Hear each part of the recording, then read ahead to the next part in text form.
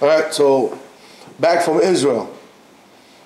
It was a very interesting, very interesting trip. First of all, I got to see my father, and this uh, those words should be for his refuah shlema. I got to see cousins and people that I haven't seen maybe 30 years. It was unbelievable you to see that. They made me a small birthday party. It was ridiculous. It was so nice. But anyway,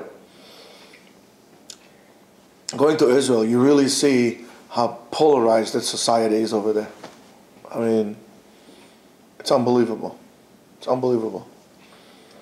You walk in the street, you know, Erev Shabbat, coming or going to shul. It's, it's very interesting. You see a guy with a kippah, right away the two people are looking for each other to greet each other Shabbat Shalom. You see a secular person, you're lucky if they tell you Shabbat Shalom back. I mean, if I would, if I would go, not even if I said to somebody Good morning. I work, you know, I'm used to, I'm used to what I get used myself to do here in New York. I see somebody say, Good morning. You know, I want to say good morning to somebody. I want to share the goodness of Akadosh Baruch Hu with that person, whoever the person would be. Good morning. And over there, they don't answer. And there's such hatred over there. It's, it's unbelievable.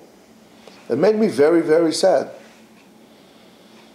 And yet, I went Friday to buy chalot and they moved the store, you know, where they make the chalot. They make in this place. My mother doesn't make chalot anymore. She can't, you know, she can't do it anymore. So they go to a place they buy chalot from, and they move the place from where I used to. Uh, I was looking for something. I mean, looking for it for a while. Then I found it. So I'm going to that store, and I mean, tr- terrific ashgacha, very nice ashgacha. But the guy who sells there, you know, has a ponytail, has uh, earrings, has a nose ring, he has, you know, tattoos like, uh, it's like a hipster selling chalot, you know. He works in a, it's not his store, but, you know. So, I know what he said, and I answer him back, and we start talking. And we start talking, and we're talking about, you know, being positive, concept of positiveness, and so on and so forth. And we were having a very nice conversation. And two women come into the store. It's like, excuse me, can I have two chalot? He says, one second, we're talking, one minute. I said, it's okay, it's okay, I don't want to. Um, and, and then I left. And it was a very interesting experience. And then I started to do so more. And I realized that us being the religious people, we in a way play a role of the, of the older brother. And being the older brother, you should guide your younger brothers. And you might have among your brothers one brother who is a little bit of a of a character. I'm not saying a bad brother. He's just, you know, he has it difficult. He's not as lucky as you. So he acts up a little bit, he goes drinking a little bit, he gets drunk, he goes with girls, but he's still your brother. So what are you going to do? Huh? What are you going to do? You're going to denounce him and say, oh, my brother is drinking, I'm going to throw him away in the street. I mean, I think it was Rav Amnon Yitzchak one time I saw an interview with him, and the, the interviewer asked him about, uh, well, what would happen? He says, I know, I know your, uh, I know your thing about, uh, I know your thing about homosexuality, but what will happen if you have a son who is homosexual? So Rav Amnon Yitzchak says, Chas v'shalom, but so, but after all, you know, what can I tell you? He's my son. What am I supposed to do? Throw him in the street? So this is your brother. What are you going to do? Throw him in the streets? I think that overall, the polarization of Israeli society had increased because every side takes his own side and breaks away from the other side. Uh, we should not wait for the secular people to come to us and like us.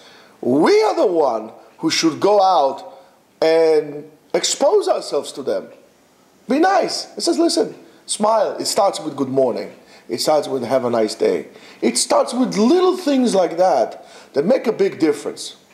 And once you start talking, you start having a dialogue, and you're able, in a way, if I would take everybody, I would put them in a boot camp, or I'll send them to a trip down to Mongolia.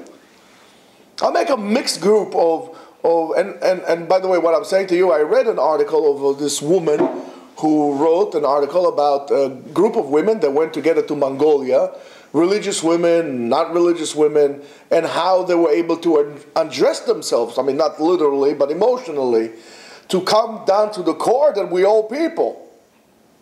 And it just turned up to be it's a beautiful description how in the middle of Mongolia they set camp and there's religious women right away they put eruv on, you know, they put the string, they make the eruv, mm-hmm. and they only eat kosher because everybody eats kosher because they don't want to, you know, they want to they want to make it work. So the you know, the Frum people make it accessible, their Shabbat and so on and so forth. And, and, and, and you see how a dialogue starts and how we bring them together. We bring them back home.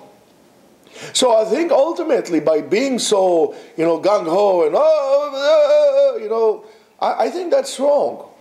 I think that's wrong.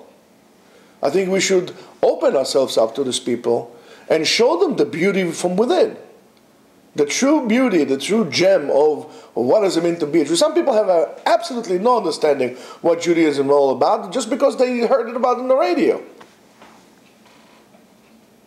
And I think the more we will expose ourselves to our brothers, the more we'll be able to go out there, including the workplace, including many other uh, uh, formats of it, and, and we'll be strong. We need to, first of all, strengthen ourselves, and then we need to go out and negotiate out of you know this whole this whole endeavor out of strength. I think there's a great chance for us, if not making everybody religious, at least make the Jews more Jewish. And that's the bottom line.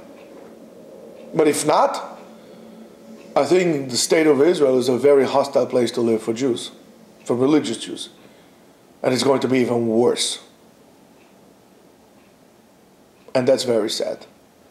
And there will be a missed opportunity and that's on our shoulders because it's our watch. So let's open ourselves up. It's almost Rosh Hashanah.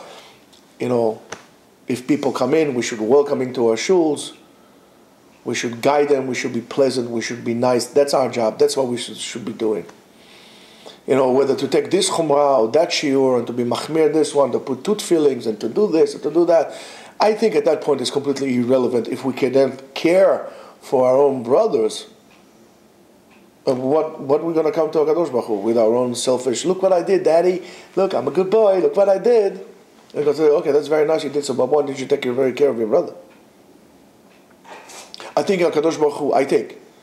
Listen, I, I don't know, but I think Hakadosh Baruch Hu will be happier with us if we achieve less and care more. Have a great day.